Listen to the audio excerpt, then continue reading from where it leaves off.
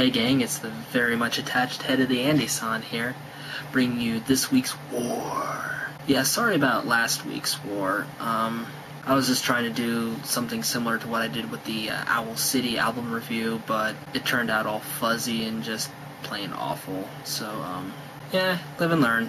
I'm really excited about today's album review because I'm finally reviewing Tokyo Jukebox, the latest CD from one of my all-time favorite guitarists, Marty Friedman.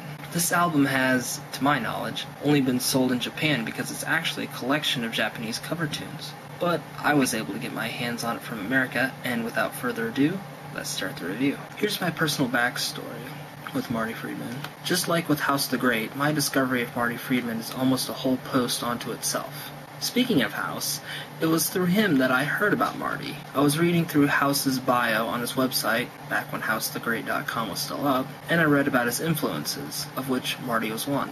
At the time, I had known Marty only from his work in Megadeth, and even then, only knew the radio hits like Symphony of Destruction and Angry Again. I had no idea even who the band members in Megadeth were. Then again, since the lineup often changed, I know that I wasn't alone.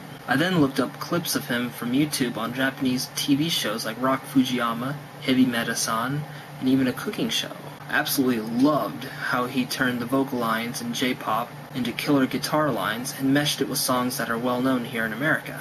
Back in 2006-2007, when I was still going to UU, I came across a two-part guitar tutorial that he did that changed my life. Electric Guitar Day 1 and 2.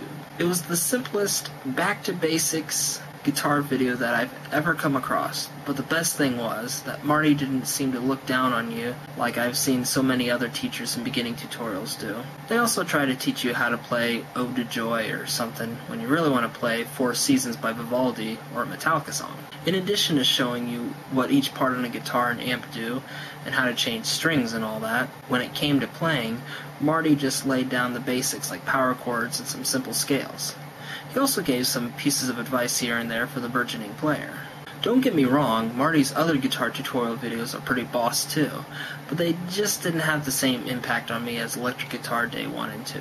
From there, I've been constantly watching clips of him on YouTube and keeping on the up and up with his singles and album releases, all the while learning more and more about not only guitar, but music in general. Here's the track breakdown of Tokyo Jukebox. The first track, Tsume Tsume Tsume, I think I'm pronouncing it right, hit me in the face with a hardcore romp that seems out of character for Marty, and yet it works wonderfully for him. The breakdown at the 3 minute 28 second mark always gets my fist pumping like jams. Leet Jersey Shore reference! The next song, Gift, is a rock meets techno meets Hawaiian number that is one hell of a ride. This song combines so many different musical elements that it's almost a fusion song. But a Track 3 is Amagi Goe. I think I'm pronouncing that right. Which would fit in just fine on Marty's album Loudspeaker. It also has bits that remind me a lot of the Mute City theme from the SNES game F-Zero. Up next is Story, a song that has quite an impressively upbeat melody. An image of Top Gun and maids from a maid cafe come to mind for some reason. After that, it's Polyrhythm, which is probably my favorite song on Tokyo Jukebox. The original song by Perfume is also pretty good too, if you're not turned off by the at times abuse of autotune that is. Kaeri Taku Natta Yo is probably what Green Day would sound like if they were a J-pop group. I can see the song being played at school talent shows like in the anime manga Beck, but I'm not by any means downplaying this song. The seventh track, Tsunami, is an epic rock track that is definitely multifaceted. Just when you've got this song figured out, Marty throws you a curveball that still fits with the song somehow. Yuki no Hana has recently become one of my favorite tracks from Tokyo Jukebox, mostly due to the opening melody that cuts right through me. What was once a melancholic piano ballad quickly turns into an explosion of heavy metal flavor. Eki starts off with an almost synth-like octave guitar line that kicks into a crying melody characteristic of Marty's playing style. We also get to hear Marty really go to town on some exotic scales.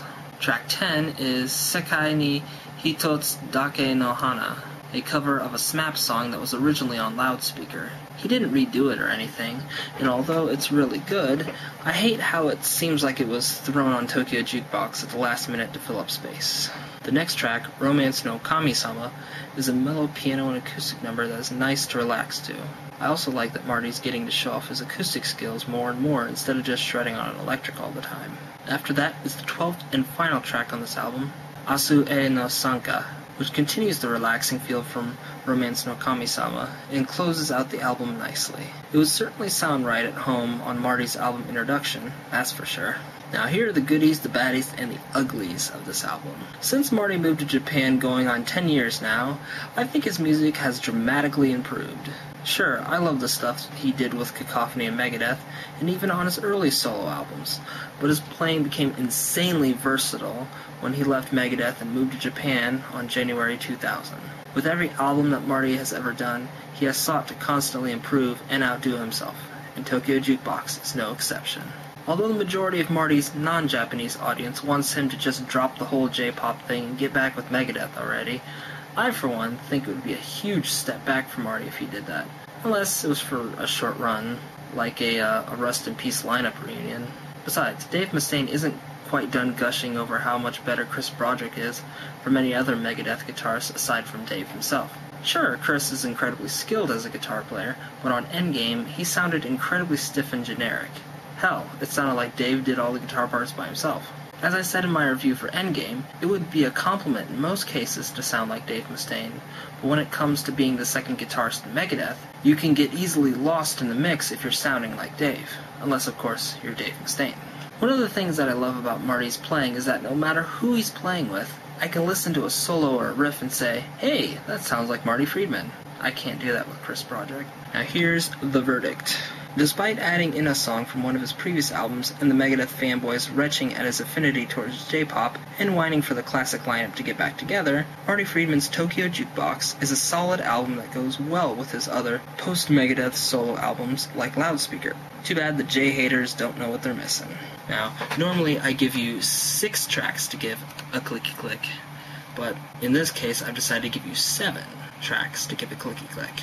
Tsume Tsume Tsume, Gift, Polyrhythm, Kaeri Taku Natta Yo, Tsunami, Yuki no Hana, and Eki. So yeah, this is the Andy-san, signing off for now. Be sure to check out Marty Friedman's album Tokyo Jukebox. I'll put the link in the sidebar if you guys want to preview the tracks or buy it from Amazon. And uh, you guys have a good one. See ya.